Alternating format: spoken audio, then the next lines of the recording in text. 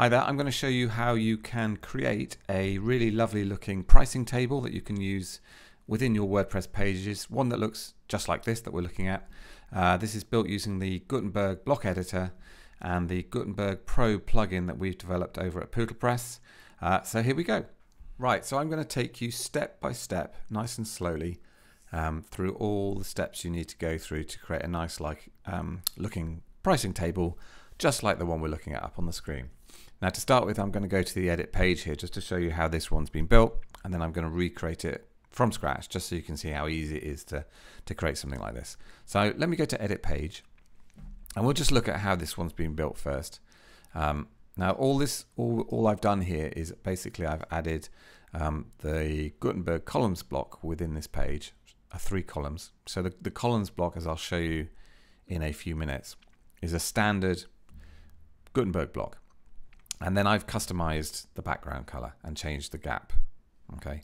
Now, if I click on the column itself, you'll see over here I've got some settings that let me basically customize the background of just that column. Now, these aren't normally available in the block editor.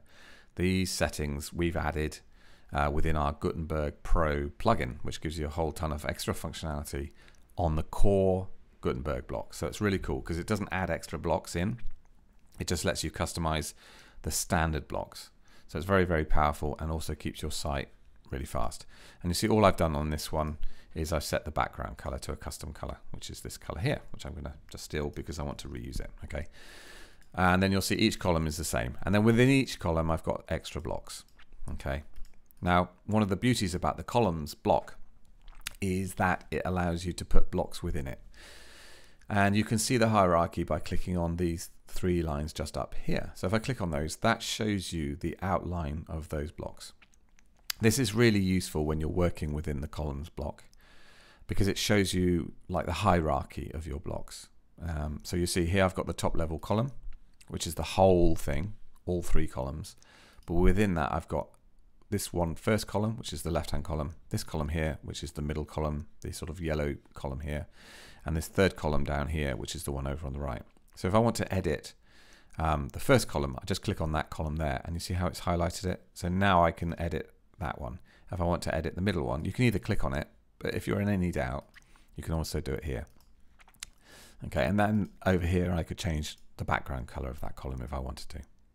Okay, so hopefully that shows you how the columns block works or how it works with the additional plugin that we've built called Gutenberg Pro. It's very powerful. So let me just recreate this so you can see just how easy it is. So I'm going to start off by adding just the uh, columns block into this page. So I'm just going to search for columns up here and it finds the columns block and I'm going to click on it to add it into the page. And now it's going to ask me how many columns I want and what proportion I want in my columns. So I want three columns equally sized. So I'm going to choose that option there. And that just sets my basic grid layout. And now I'm going to start to customize. Um, I'm going to start by customizing the background color as we can see here. Now, again, if you're in any doubt, just use these selectors up here to choose which column you want to customize. Okay, I want the first one. And then over on the right, we'll see I've got these additional settings. This is the Gutenberg Pro settings that let me change the color. So I'm going to put in my cus a custom color in this case. And you'll see over on the left here how that color's now changed. Okay, and again, I could do it for these other ones if I wanted to at the same time.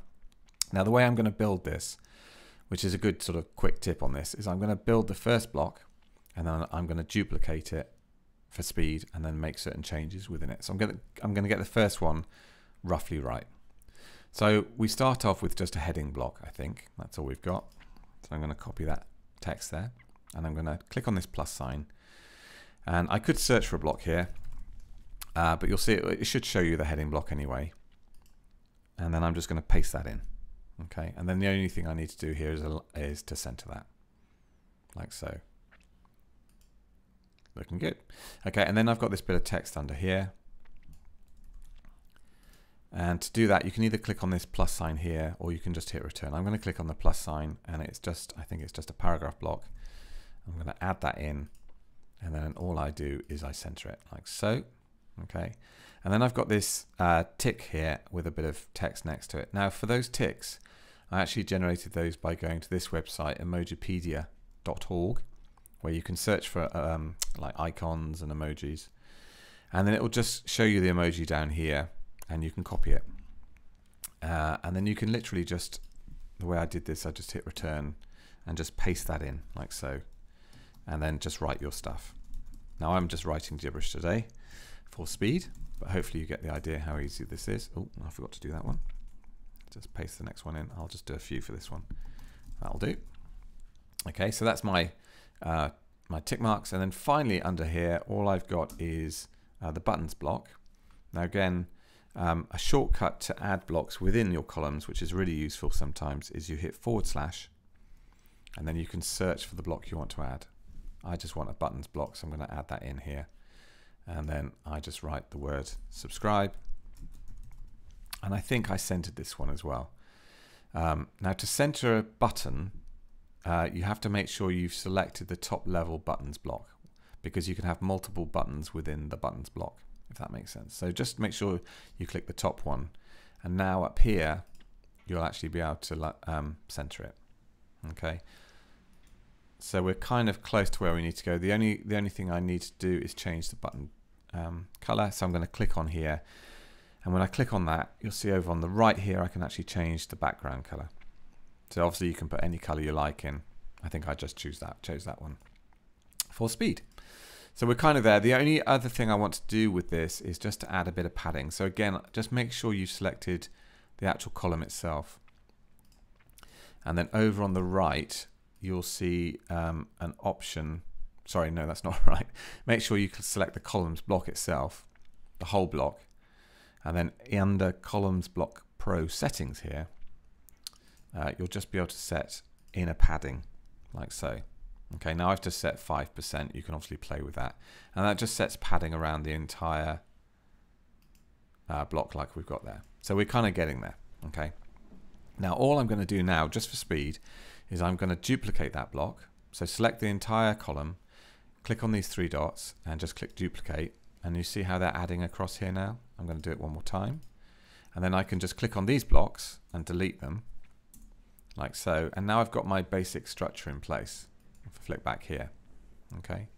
So we're, we're kind of almost there. Obviously, you, you can change the words on these very easily just by clicking in here and changing the words. But duplicating, duplicating uh, will really save you a ton of time. Now, the only other things I need here is I need to change the background color of this one. So I'm going to select the block itself and I'm just going to set the background color to that yellow color. Obviously you can choose your own color. And the other thing that we've got in here, which is quite cool, is this block here, which has got this nice sort of glow around it. Now again, this is one of the settings that we built into um, Gutenberg Pro is the ability to put drop shadow behind your heading. So I'm just going to add a block. I'm going to add the heading block. I'm going to call it most popular. If I could spell. Uh, I'm going to center it here. I'm going to change the text color over on the right to white. And then the other thing I'm going to do in heading, um, in this setting here, here, heading block pro settings, is I'm going to add a text shadow. Now, obviously you can play with this. Uh, I'm just changing these so you can see. You see how if you increase the blur, you get this nice sort of glow behind it. Uh, you can also change the font family in here. So this is part of the heading block that you can actually change the font family. That's quite funky, so I might leave it at that. Um, and you can obviously change things like letter spacing here um, and font size as well. So if you want to make that bigger or smaller, you get the idea, hopefully. And so we're pretty much there. There's just one more thing I want to do, and that is just reduce the gutter or the column gap within here. And to do that, I'm going to select the, main columns block here. And again, this is a setting that we built in to um, to Gutenberg Pro that lets us change the columns gap. So all I'm going to do, you see the setting here, I can just change this slider here in and out like so. So if you didn't want a gap, you could you could move it in or out. I'm going to set it at that, which is about right, and then I'm just going to publish it.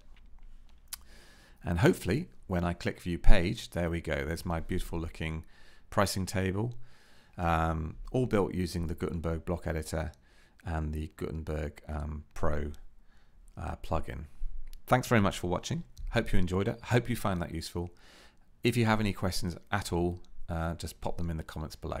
Thank you very much.